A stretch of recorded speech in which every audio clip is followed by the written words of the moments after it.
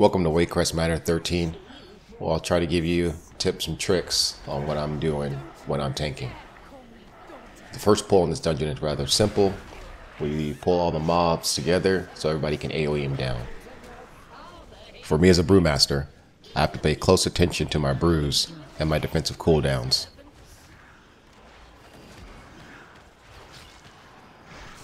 Come back and face my steel! Nothing special about these mobs except for the shadow cleave done by the Bewitched. You'll see it because I marked all of the frontals with a raid marker. It's an easy mechanic to avoid, just sidestep away from it.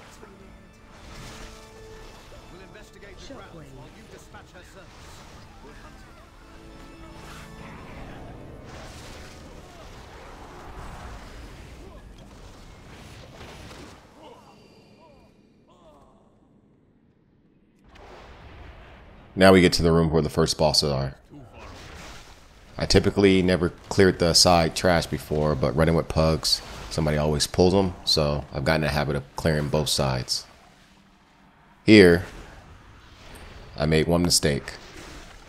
Probably several mistakes, but one mistake in particular. If you notice that I got a lot of activity on the left hand side of the uh, room, that's because somebody pulled the boss. Here, as I span my camera around, I can see that the boss was pulled and already attacking the group. Unfortunately, because I'm a, I'm a brewmaster, getting aggro, it's tough if it hasn't been established by me yet, because my aggro is based on damage. So I pick up the first boss and try to rep- reposition him back into the uh, group. Anticipating the switch, I start building aggro on the remaining mobs. When the purple circles appear, Mind control.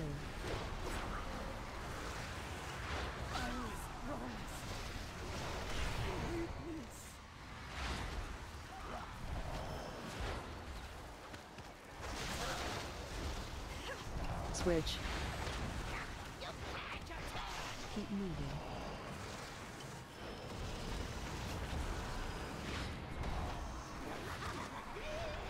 Fred. Do not overlap anybody else's purple circle.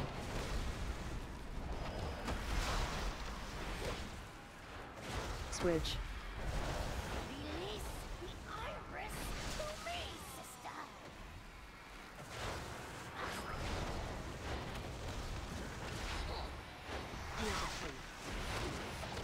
My thorns will rip you to shreds! Switch. Give me the iris, you fool! Only I can focus its power!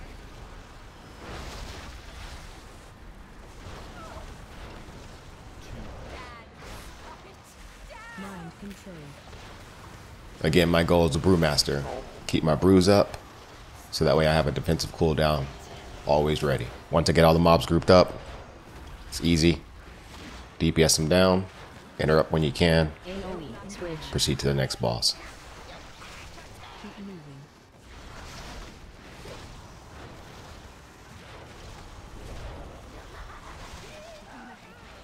Switch.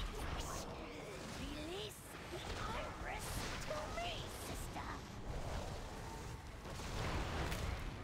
I can rest more easily knowing these foul creatures no longer prowl the night.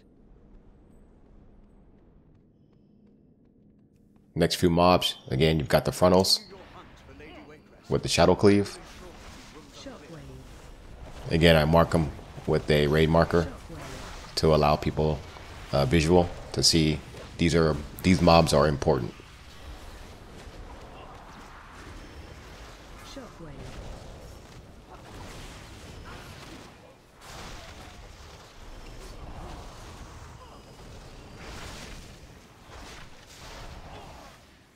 Shockwave.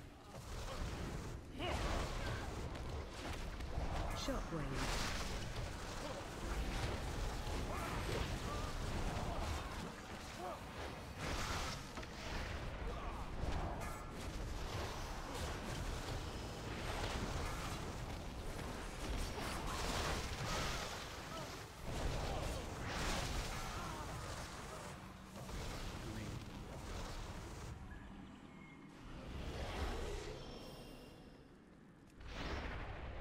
We proceed to the courtyard.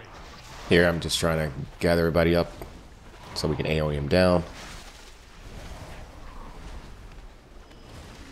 Watch your step.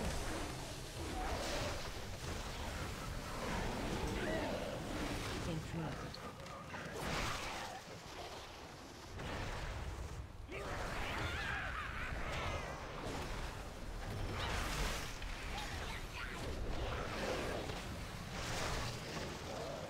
Watch your step.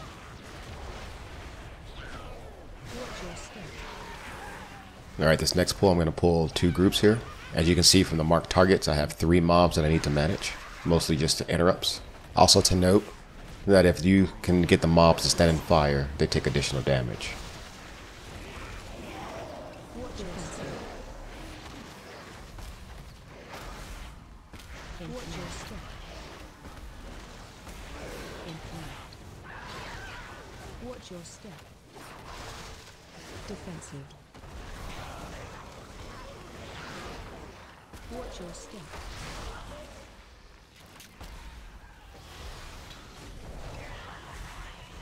Defensive.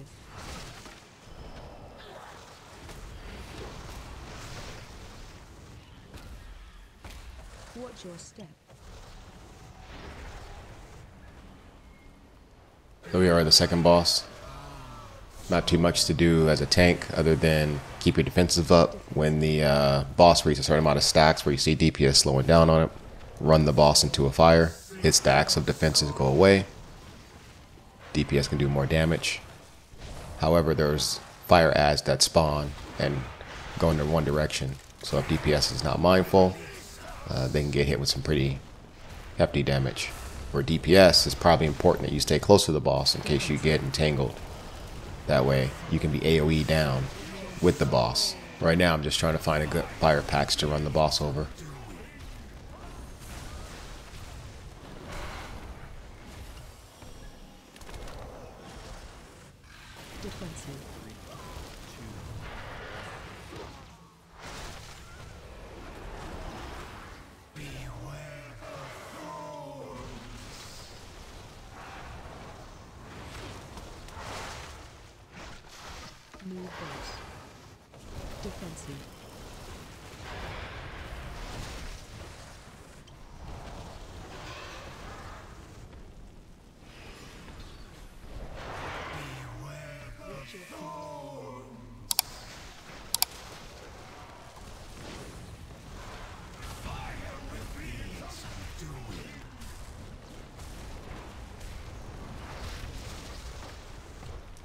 Defensive.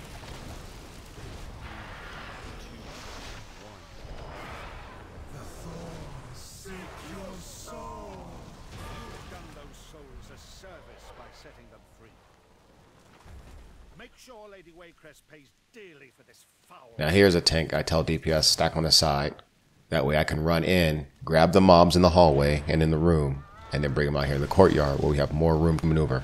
You want DPS to be on the side because some of these mobs are casters. And that way they don't sit in the hallway casting. Or leaping on a random player with the tank not having aggro.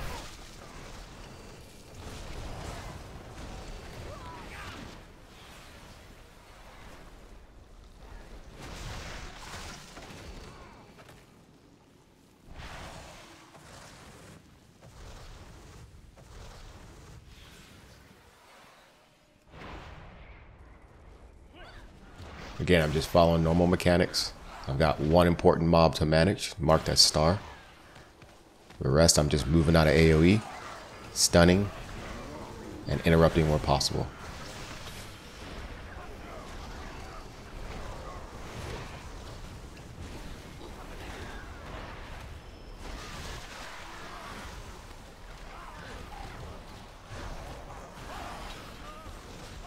Dinner Bell is the uh, cast that you got to run out of. I need a target.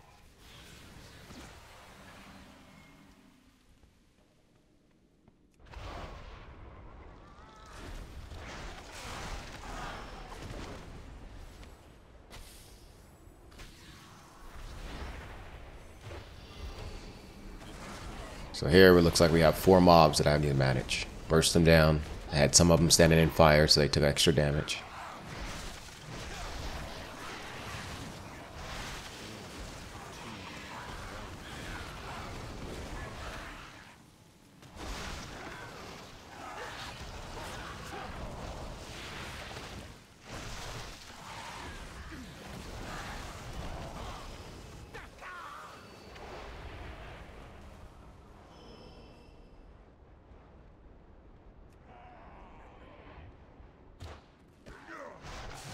There I got scared. I didn't want to get hit too hard and die and not uh not be able to get back to the group. So I wasn't in range for my AoE ability to uh, grab the other pack. But since I got a majority of the room, I removed my marker so I can have the group follow me in.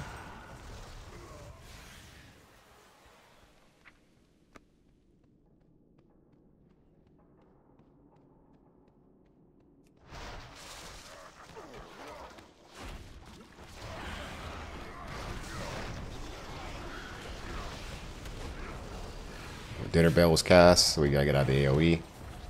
Again, much harder to maneuver in this hallway than I would liked. But I didn't want to keep people waiting outside longer than they had to, uh, because I didn't do the, I didn't do a big enough pull.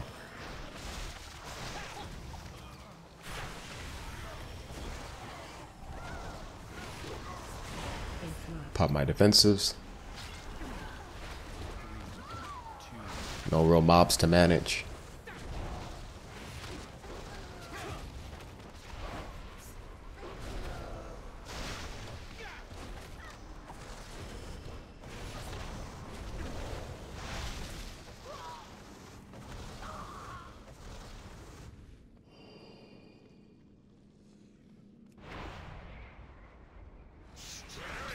Now for this boss, you kind of want to stand on the same side as everyone else. So that way the AoE that he does uh, in terms of leaving the pool of slime on the ground can be in somewhat order so people have a place to stand. Dodge. His tenderize ability, which is what he's doing right now, is random. Wherever there's a body,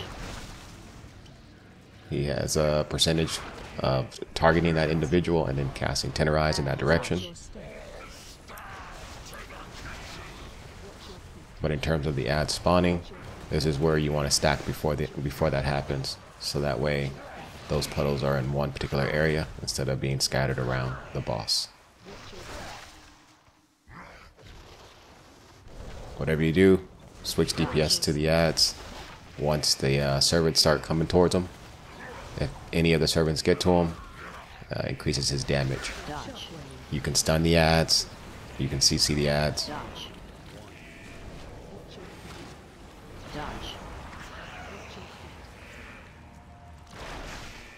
Relax. Dodge. Your step.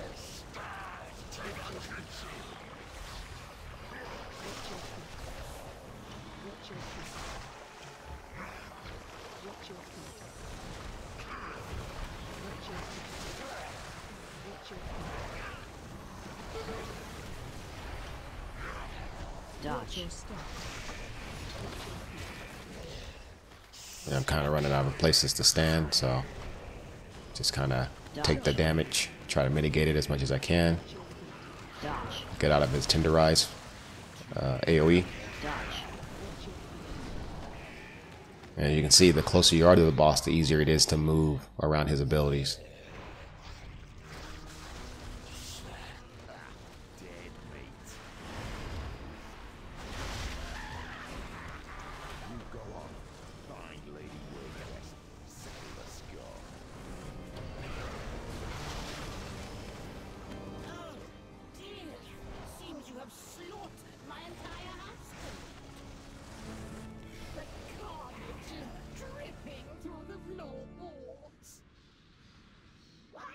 Join me in the basement and mar death beauty? Interrupt. Interrupt. Watch your step. Interrupt.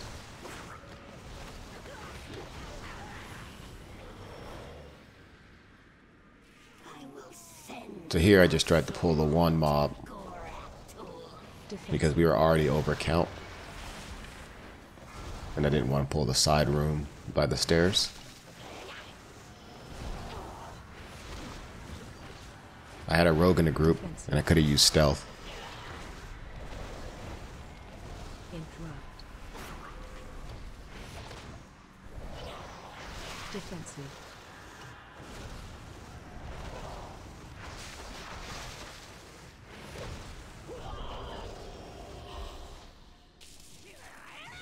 But as you can see, the uh, side room got pulled anyway.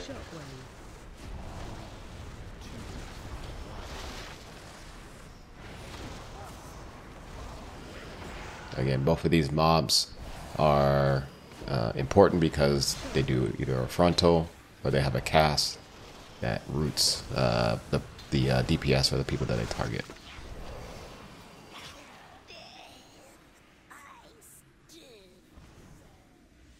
My mother had a cruel streak, but I never imagined she was capable of this. Here, you just pull everything. Uh, there's no way around it.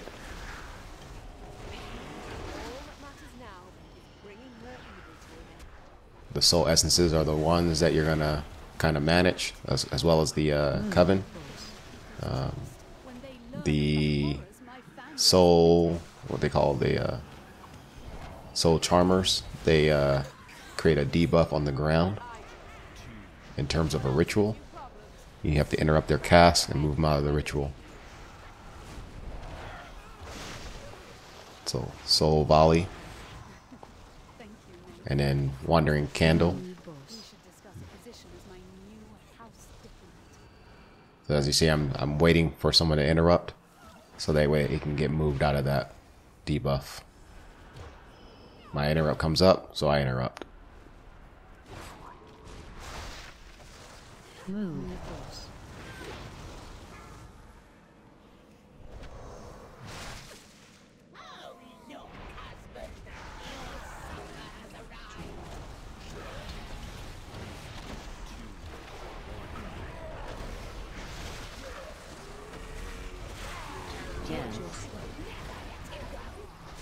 This boss's targets a random individual, or they're gonna drop puddles.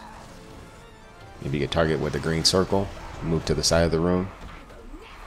Second mechanic is what he calls dancing. Put the swirls on the floor. Don't stand in the swirls.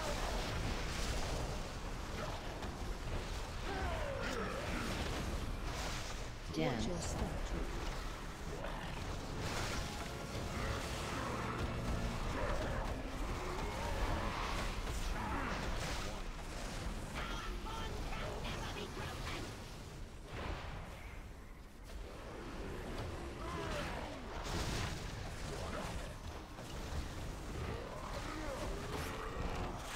Lady Waycrest. She spawns. Taunt. AO down.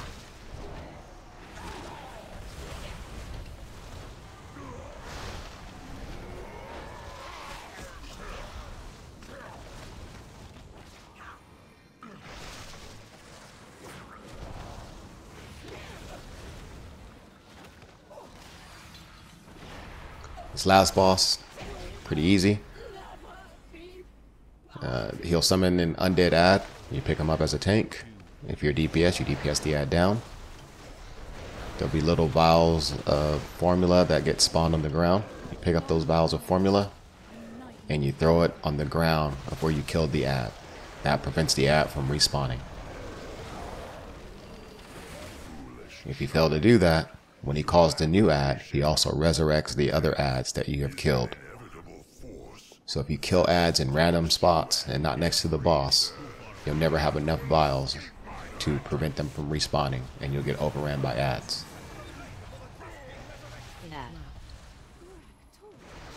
How is this possible? My ancestors defeated you ages ago.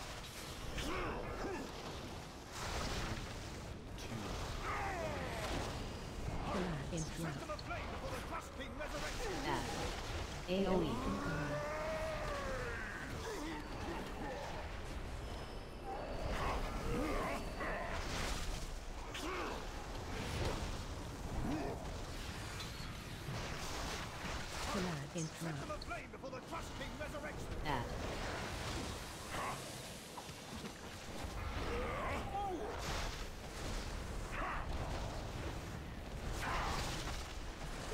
Man Waycrest will make